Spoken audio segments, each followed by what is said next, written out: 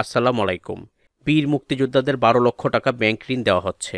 এই বারো লক্ষ টাকা ব্যাংক ঋণ পাওয়ার জন্য কারা কারা যোগ্য আর যারা যোগ্য, তাদের কি কাগজপত্র লাগবে, আজকের এই দ্বিতীয় পর্বে আলোচনা করব।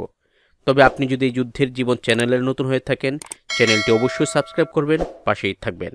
সর্বপ্রথম বলে নেই, বীর মুক্তিযোদ্ধাদের এই বারো লক্ষ টাকা দেওয়া হচ্ছে অগ্রণী ব্যাংক থেকে। এবং বিশ্বস্ত সূত্রের মাধ্যমে জানতে পেরেছি এই বারো লক্ষ টাকা ব্যাংক ঋণ অগ্রণী ব্যাংক থেকেই দেওয়া হচ্ছে এবং তার সত্যতা শত পার্সেন্ট তাই আজকের এই দ্বিতীয় পর্ব নিয়ে এলাম। এখন আমরা জেনে নিই এই ব্যাংক ঋণ প্রাপ্তির যোগ্যতা কি কি।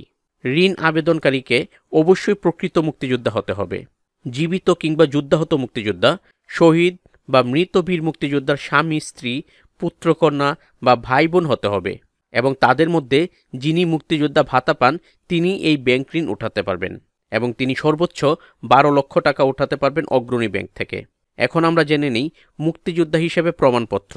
গণপ্রজাতন্ত্রী বাংলাদেশ সরকারের মুক্তিযুদ্ধ বিষয়ক মন্ত্রণালয়ের সচিব কর্তৃক স্বাক্ষরিত এবং মন্ত্রী বা প্রতিমন্ত্রী কর্তৃক প্রতি স্বাক্ষরিত সনদ। চেয়ারম্যান, কেন্দ্রীয় কমান্ডো কাউন্সিল বা বাংলাদেশ মুক্তিযুদ্ধ সংসদ কর্তৃক প্রতি স্বাক্ষরিত সনদ, অথবা নিম্নের যে কোনো একটি প্রমাণকে বীর মুক্তিযোদ্ধার নাম অবশ্যই থাকতে হবে।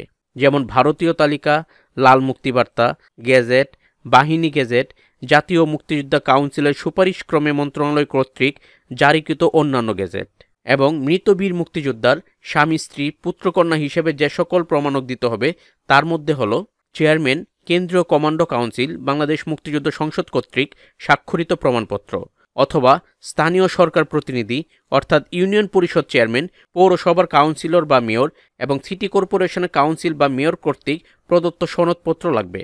তাছাড়া মুক্তিযোদ্ধা ভাতা গৃহীতা হিসেবে প্রমাণপত্র, যেটা শাখা ভাতা প্রদানকারী কর্মকর্তা বা ব্রাঞ্চ ম্যানেজার কর্তৃক সত্যায়িত। ঋণ গৃহীতার জাতীয় পরিচয়পত্র, পাসপোর্ট যদি থাকে, তা সত্যায়িত ফটোকপি এবং ঋণ আবেদনকারীর দুই কপি পাসপোর্ট সাইজের সত্যায়িত ছবি। এই সব কাগজপত্র নিয়ে নির্ধারিত ফরমে আবেদন করতে হবে আপনাকে। এখন আমরা জেনে নিই যে সকল বীর মুক্তিযোদ্ধারা এই বারো লক্ষ টাকা ব্যাংক ঋণ পাবেন সেই সম্পর্কে। যোগ্যতা হিসাবে দুটি যোগ্যতাকে প্রাধান্য দেওয়া হচ্ছে।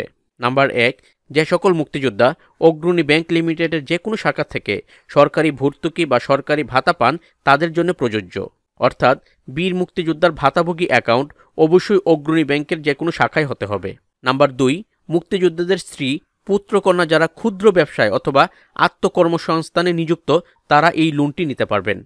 তবে সেই ক্ষেত্রে কিছুটা শিথিল আছে। তো এই ছিল বীর মুক্তিযোদ্ধাদের ব্যাংক ঋণের সর্বশেষ আপডেট। তো আজ এ পর্যন্তই। দেখা হবে অন্য এক নতুন ভিডিওতে। সেই পর্যন্ত সবাই ভালো থাকবেন, সুস্থ থাকবেন। আল্লাহ হাফেজ।